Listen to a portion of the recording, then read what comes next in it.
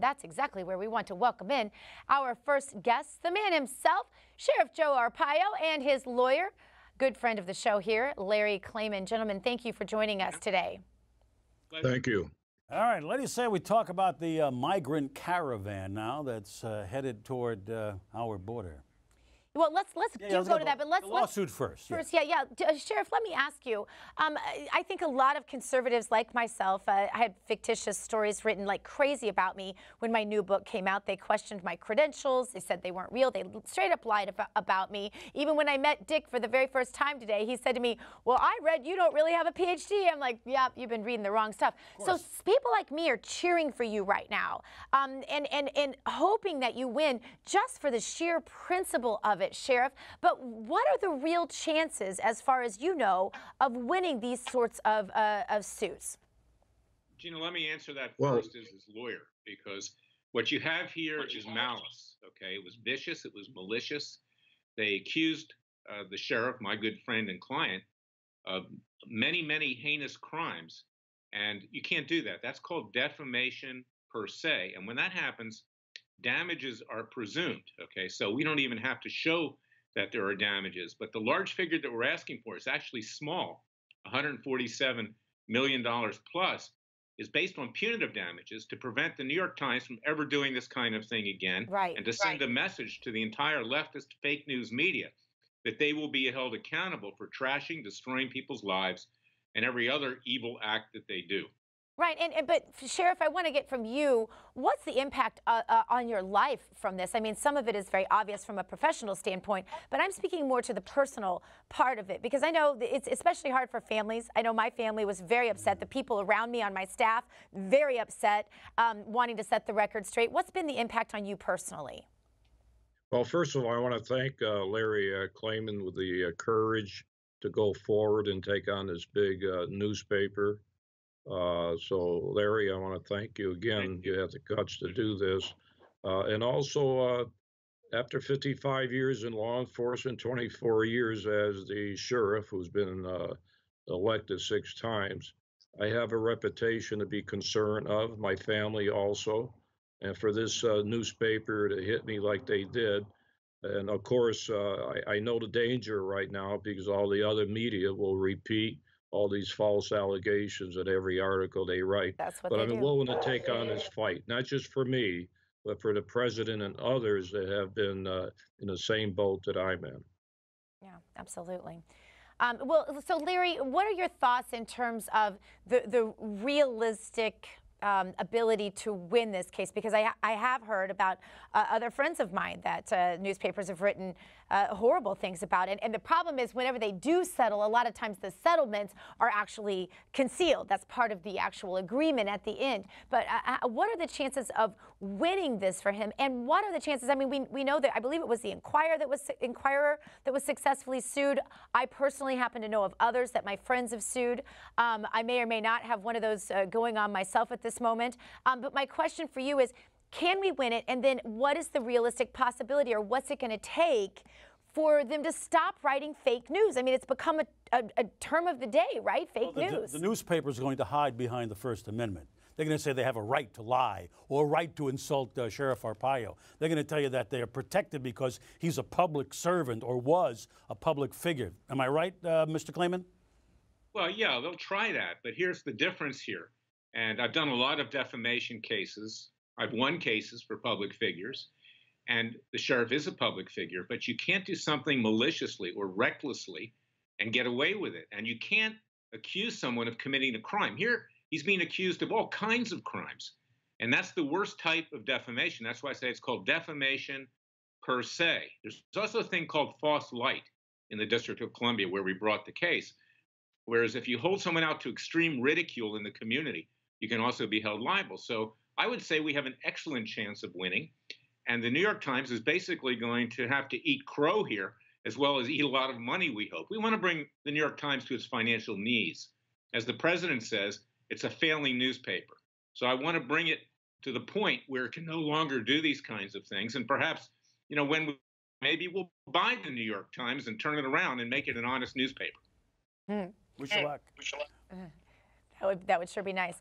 All right, uh, let's move on to the migrant caravan. Dick, you wanted to talk uh, about that. We've been talking about the migrant caravan that's headed through Central America right now on its way here. It originated in Honduras.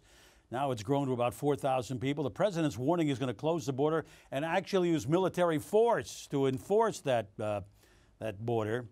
Uh, the president tweeted, I'm watching the Democrat Party because they want open borders and existing laws made weak assault our, assaulting our country by Guatemalans, Hondurans, and El Salvadorans, whose leaders are doing little to stop this large flow of people from entering Me eh, Mexico on their way to the United States. And he followed that up by tweeting, in addition to stopping all payments to these countries, which seem to have almost no control over their population, I must, in the strongest of terms, ask Mexico to stop this onslaught. And if unable to do so, I will call up the U.S. military and close our southern border. He ended then with this. The assault on our country at our southern border, including the criminal elements and drugs pouring in, is far more important to me as president than trade or the USMCA. So hopefully Mexico will stop this onslaught at their northern border. All Democrats' fault for weak laws. Sheriff Joe, you were known well for your very innovative solutions uh, to lawbreaking, right? Um, what do you think of the president saying he would shut down the border? Well, you know, uh, G. Gordon Liddy and I in 1969 had Operation Intercept under Nixon. Uh, we ran that, and that border was sealed for two weeks, and that t- told the Mexicans that we were very, very serious. Straighten that one out. But in my campaign, I said we should uh, send the U.S. Army across the border and help the Mexican authorities. I did that when I was regional director many, many years ago. Why can't we do that? Also, I mentioned take away their foreign aid. If these countries do not stop this, take away their money. I think the president has just said that too. So there's ways to solve this problem, but you have to get tough and make sure that they know we are serious. So I'm behind the president 100% on those issues. There's speculation, Sheriff Joe, that uh, perhaps George Soros and others of his ilk are behind paying uh, these migrants to come here because apparently there was our last guest, Chris Salcedo, said there, there were women and children, or women with children rather, paid um, money to join the migrant caravan. I happen to look at the mi migrant caravan, at least the, the tapes I've seen of it, Sheriff, and most of them looked like very able bodied, military age, um, well fed uh, very well fed uh, men, young men.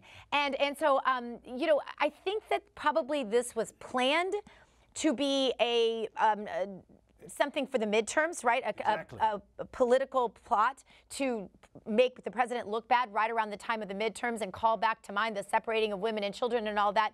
But it doesn't look like this particular incident is working very well. And in fact, there was an edict handed down from Democrat leadership saying don't talk about the migrants. Don't talk about illegal immigration. Sheriff Joe, you've been in politics a long time. What do you make of all of this? Yes. Uh, well, let me say this: uh, George Soros pumped in almost three million to get me defeated in a general election a couple of years ago. No surprise. Unfortunately, there are some politicians in bed with him too. You do know that, so uh, it's a big problem. I, I, wouldn't be surprised if he's behind this, either directly or indirectly. Uh, so the president's tough. Got to get tough with these foreign countries. I cover those countries for four years. I know how they operate. So you have to put the fear into them, get the job done. And if they do get to Mexico through all these Central American countries, that's the last stop. Then you stop them across the border. Don't let them come across. You stop them across the border with any means, diplomatic, political, whatever force, to send a message out and they'll listen. Yeah. Well, Larry, last question. We've only got about uh, 40 seconds, but I want to ask you is there any legal recourse for the Americans who are putting money in on what is basically a political plot in an effort to break our laws in America and get these people to come here and cross the border? There may be, Gina. You know, it was the sheriff and I who played an instrumental role in getting Obama's amnesty for 500 million people killed in the courts in Texas, in the Fifth Circuit, and at the Supreme Court. We brought the first case in D.C. We got an Obama appointee, but we then went on to Texas and we won. So there are things that we can do here, and I hope people will join us, and I hope people will support Sheriff Arpaio's lawsuit against the New York Times because it's for everybody, the president and everyone. They can go to freedomwatchusa.org, read that complaint, support us. We need the help because if we can take the New York Times down or at least put a chink into its side, it will have a chilling effect on going after conservatives like you and me and others, notwithstanding the uh, heroic sheriff here. Uh, and we need to really do something. He's really the first one to push back in a major way against the New York Times. And it shows you how courageous this man is. It's why I admire him. He's why he's my friend and also my client. Oh, that's nice to hear.